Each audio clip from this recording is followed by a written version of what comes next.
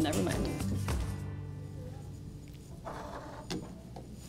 We're back here on the set of the Mountain Morning Show with Lindsey Hargett of LK Cooking. Lindsey, how are you doing? It's been a little while Been great, been I in. know. Glad we're back here. How's your summer been so far? Crazy but fun. Crazy Got but fun. vacation in and some work, so. There you go. Well, at nice. least you got your vacation in. That's Yes, good. good That's for the summer necessary for the summer. Well, mm-hmm. you're here to teach us all about some summer barbecue sides. We all know how to cook up summer barbecue main dishes. Mm-hmm. Obviously, everyone knows the brats, the ribs, the all of that burgers, stuff, the the, burgers. stuff. But when it comes to the sides, I think people can kind of fail sometimes. Maybe just the bag of chips. That's not Yes, good enough, the bag right? of chips is kind of the kind of the go-to. Like, oh, I'll bring the chips, but then everybody's got chips, and you're eating chips and burgers. And That's not really well-rounded.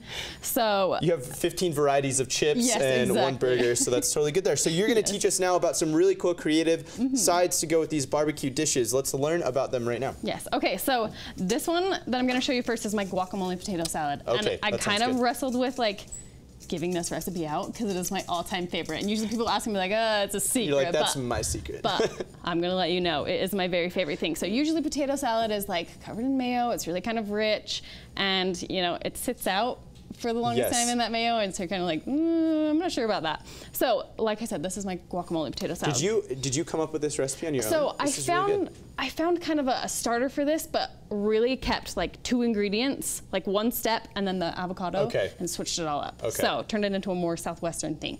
So what you start with, so like I said, usually you have um, mayo for the for the dressing, but this one is going to use avocados, and I have one really ripe avocado, this one, This and then one one, right here. that's really soft. So we'll see how that goes. But um, so we're going to use the avocado to coat the potatoes and the I was gonna say that makes sense because avoca- one avocado oil is it's a lot healthier for you than a, a mayo alternative, I guess you could say. But it's Mm-hmm. Gonna give it a really cool flavor as well. I'm really interested to see how this It turns out. makes it So, you, really soft. so how many avocados do you need for So this? So I've just got two. Okay. And you want them really soft. This one was really deceiving that I got. Soft as possible. So, um, so we're just gonna work with that. But As avocados can be most of the time, yes, which it's so tricky. They're either way hard or way, way, way too soft. So you do what you gotta do. So I'm gonna let you start mashing this. See that okay. masher Yeah, right there? get the masher. You're gonna you start get that. mashing all this up. Mm, So we've got that, and we're gonna turn that into our our base. That's what's gonna coat everything. Okay. So good luck with those hard ones. Oh, it's actually not bad at all. They're perfect. So we've got that, and then we're gonna add some more guacamole ingredients in here. Okay. So we've got um, all of your classic flavors. Um, we've got your paprika and um, cumin and onion powder, and we've got some garlic as well. We're going to add some. Some fresh garlic too. That's Yes, important. I know garlic definitely. powder or garlic salt can be used as a substitute in guac all the time, but but fresh garlic. gotta go with the fresh garlic. It tastes so much better. Mhm. So we're gonna get some lime to kind of keep your avocado from browning. Okay. And you know, just give it that good flavor. So um, we've got some cilantro as well, and so. Two of the big things in this recipe, so I'm getting lime juice everywhere. Oh, you're fine. Two of the big things are using avocado instead of mayo, and then typically you um, you boil your potatoes, but I roast mine. You roast them. Mm-hmm. All right. So what's the difference there? What. So what's the change? It gives it a little bit more of like a, a texture instead of just the soft potatoes. Okay. It's got a little bit of give to it. Okay. And then also, so we've got bacon in here as well that we're gonna add.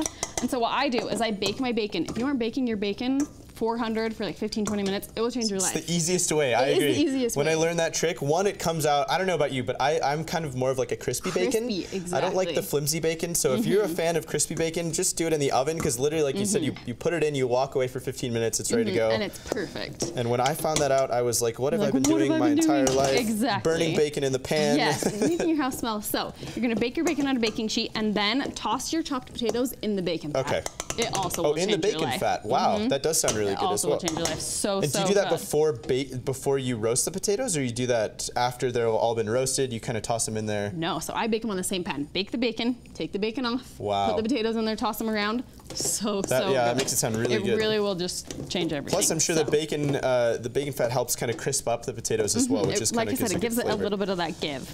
So what we're gonna do now? Hey, you did a surprise with the Did a avocado. good job, yeah. So now what we're gonna do is we're gonna Add add in our potatoes. and you can serve this warm or cold. I kind of like to bring it cold so that because it's gonna come to room temperature. Yeah, You know anyways, what I mean? yep. So we're gonna mix those around, and then also we've got some cilantro. So, like I said, we've got our guacamole flavors. Gotta have the and cilantro. you really could even add chopped tomatoes in this. I haven't done that before, but it would would be really good if you like your guacamole that way. It could be really tasty. So you're gonna do that, and then we're gonna get it all stirred around. I missed an avocado, so it won't be as creamy, but you know, you kind of get it all stirred together, and then it tastes just, it's nice and fresh, and Yeah, this looks great. it's just, it's one of my favorites. Total, like is a really good spin on on your traditional potato salad. Mm-hmm. so much better for you. Healthy fats, healthy things in there, but Because everyone has their family potato salad recipe and they're really Mm-hmm. proud of it. So just wait till you show up to the party with this and you're like, yes, ha. it's always a winner. Like I said, people Ha. ask me for it, and I'm like, no, no. But so if you're watching, you get this. Then I'm flinging potato everywhere. But That's right. It's messy, but it's delicious. So that is a good one. And so you were saying everybody has potato salad. Everybody has pasta salad as well. Yeah. So I'm gonna kind of change that one up a little bit, make it a little bit fresher as well. And so Got this one is here. a caprese pesto pasta salad. And what we're gonna do with this, and we've got our pasta, I've got a cool one that I got from Harmon's, and we're gonna add our classic caprese ingredients. Now, I'm gonna show you a trick to cutting your tomatoes, even though I didn't get my knife out. Okay. But so what you're gonna do is instead of cutting all these little tomatoes by hand, which is such a pain, you're gonna put them in a lid. Mine kind of have these little divots, but if it's just a flat lid, that's totally fine. Get two of the same lid, and you're gonna put the tomatoes in there and put it like this. Smart. Yes, So and do smart. the little And then cut it go through with half. a serrated knife. Okay, that makes and then sense. they're perfect. They're So then you dump those in. Um, I've also got these little mozzarella balls. You might have seen these at like I get them at Costco all the time. My husband's gonna be sad that I stole these. But like, there um, goes he's all like, my "Sweet, we just mozzarella." got these. so you've got these little mozzarella balls. You can get them at the grocery store. You can get them at Costco, Okay. or you can just chop up a fresh thing of mozzarella. Okay. So so good. So we've got these Toss in all there. Mm-hmm. those in there as well. Perfect. I've got some basil from my basil plant at home. I like to shred it. Some people like it whole. Okay. So you can do that as well. And then add your tomatoes once you've chopped them. So uh, pretend these are Pretend chopped, they're right? chopped and we'll add them in there. We'll add these in here as just well. for some color. The nice thing about that trick is it kind of helps with the consistency of the cut. Yes. Everything's going to be like the same. sometimes you get kind of weird ones and it's Oh, that's mine. They're all like lumpy Yeah, and sideways and yeah. What is this here? Pesto. So this is the pesto. Okay. I get this from Costco as well. Okay. It's amazing. Um, so you're gonna add just a little bit of it. We'll stir it up in a little bit and see if we want more. But that instead of the mayo again is going to be your coating there, kind of your so a- dressing. a good healthy alternative to that mayo as well. But you're not sacrificing flavor, which yes, is a big big deal Yes, pesto is so so flavorful. So another thing we're going to add, which will give it a little bit more of like a filling, you know, ness to Yeah, you, Um, is some beans. You can do any kind of white beans. I've got garbanzo beans. You can do cannellini beans, Great Northern beans, whatever you want to do. You could even, yeah, do white beans. That'd be delicious. The gar- garbanzo beans are going to be a good crunch in Uh-huh. there, though. I like that a lot. Exactly, and again, they're kind of just good for you too. So. So mix this around now. Mhm, I'm gonna switch it around All right, here. we'll switch So, sides. I'm playing sous chef today. Mm -hmm. Do you want to hand me that avocado oil? You're a great sous chef. Absolutely. There So you go. another ingredient for a caprese salad is usually you have a little bit of oil and you have a little bit of balsamic. Yeah. So we're gonna add a little bit of that. and you chose avocado oil. Why avocado oil? Mm, it kind of gives it a healthier flavor. Plus, my avocado oil has a lid and my extra virgin olive oil does not. Does not. So, that's there you go. I've There. got. but either way, extra virgin olive oil or avocado oil, something like that, that's going to give you kind of that same texture, but also the same uh, health qualities, I guess you could say as well, rather than choosing something else. You could use coconut and this oil smells even. so good. I've got to tell you. That pesto has a strong flavor. So I've got some garlic powder in here. I've got some pepper. I'm gonna add some salt as well. And then let's see if we got that nice and tossed up. So this is just gonna give it that little extra kick with the balsamic. So we're gonna stir that all together. Looks and then kind of drizzle And then that drizzle over. all over. And you can see that that isn't a lot of, of olive oil, so you don't really have a lot of that fat in there. I mean, there is some in the pesto. And that's definitely a lot less than I would have expected to put on there, but I think that's any more and it would have been too overpowering. It would be a little strong. Yeah, Yeah, yeah. you just want a little hint of that balsamic. If you like balsamic a lot more, you can hit it more, but that's how I like Awesome. it. Awesome. So. you just got two really good recipes from Mm-hmm. Lindsey right now. We're going to take a really quick commercial break. When we come back, we'll try both of these as well as get some desserts going as well. We'll be Mm-hmm. right back right here on the Mountain Morning Show. Don't go anywhere. We're back here with Lindsey Hargett of LK Cooking. We just got done making this amazing caprese pesto pasta salad, Mm-hmm. as well as a, a guacamole um, potato salad as well, which is kind of a Mm-hmm. different change there. So I'm excited to try those. But before we do that, Lindsey's got a really good dessert recipe so you can wrap up your summer barbecue uh, in the best way possible. What do we have here in front of us? It looks Mm-hmm. Amazing. This is a cinnamon roll kind of snack cake, and it is. I could say we have to look at it first before we before we uh, put icing all over this. It looks amazing. Mm-hmm. So good. Yes. So instead of my husband loves cinnamon rolls and he always wants them, I'm like, oh, that's kind of a lot of time.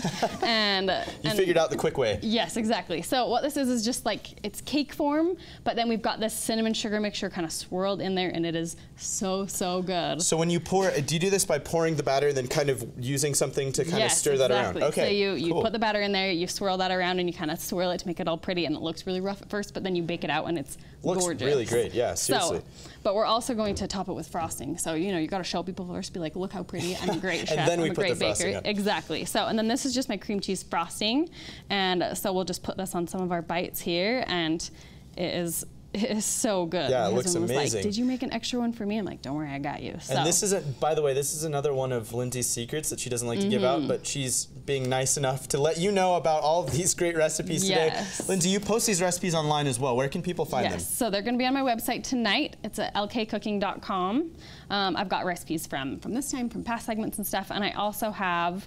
Um, I'm doing a kids cooking camp. I have a bunch of sessions this Yes. summer. They're super fun. We've already started them. Your kids are going to learn a lot. Let's talk about that. What is the, the kids cooking camps all about? Is it just kind of basic cooking for kids, or is it kids who already kind of know how to cook a little bit and want to learn a little bit more? So it's really just kind of a broad range. If they don't know, they're going to learn a lot. If they do know a little, they're still going to learn a ton. Um, I, in my class last week, we taught some knife skills. They learned how to, you know, work with raw meat and, Yeah. and bake and everything like that. And the best part, this really is the best part, is they will come home and. You know they've got that confidence and the I can do it sort of thing, and they're gonna come home and cook for you. I've Cook had a meal for you. so so many cool. parents text me pictures of their kids cooking and being like, "Look, they made us breakfast or they made us dinner." It's a real thing. they really, you know, they they want to show you what they've got and what they can do, and they're going to want to help you, and they're going to be a little more capable than before, where you're like, oh, "Just let me do it; it'll be faster." So, Well, the cool thing is you're teaching them really important skills too, like knife Yes. skills and stuff like that as well, which are the mm-hmm. safety side of cooking, which I know that's probably the biggest stress for parents most of the time. It's not the fact mm-hmm. that their kids are in there cooking; it's mm-hmm. more so how safe are my kids too. in there. Yeah. Exactly, and the lessons are a little. You know, we're really, really careful and super hands-on. And yeah, I don't, I don't teach the simple stuff. I really want your kids to know, you know, the fundamentals and stuff like that, so that they can come home and really know how to cook. do that as well. Well, will you So- get the rest of that going? I'm Yes. gonna dish us up a little bit of these great sides that we prepared just a while ago. Here's Mm-hmm. the pesto caprese pasta salad. I gotta steal a, a little piece of mozzarella there. Sorry to Lindsey's husband. So We- good. We're Don't eating worry, all I the saved you some. All right, so here's that, as well as the guacamole. Potato salad here. Yeah. And I've got some cinnamon roll cake for you. Perfect. You can see it's just, you know, just like a slice of cake, but you can see that cinnamon kind of swirled in there. I'm gonna put this, but I won't let it touch your pasta salad. Oh man, salad. those garbanzo beans in there are really, really good. Mm-hmm, That's a great it great kind of adds a little bite and just super good. Wow, so the pasta salad's really delicious. I'm really interested to see what this uh, potato is gonna be like. The potato salad is my absolute favorite. I make it all wow, the time. Wow, that is really so- good. Very, very good. I think when you first hear a guacamole potato salad, you don't even know what to expect, but Yeah, that is like, really where delicious. are we going with this? But yeah, it is. It is totally my favorite. So, Lindsey, you also offer adult cooking classes as well. Let's Mm-hmm. talk quickly about that before we have to get out of this.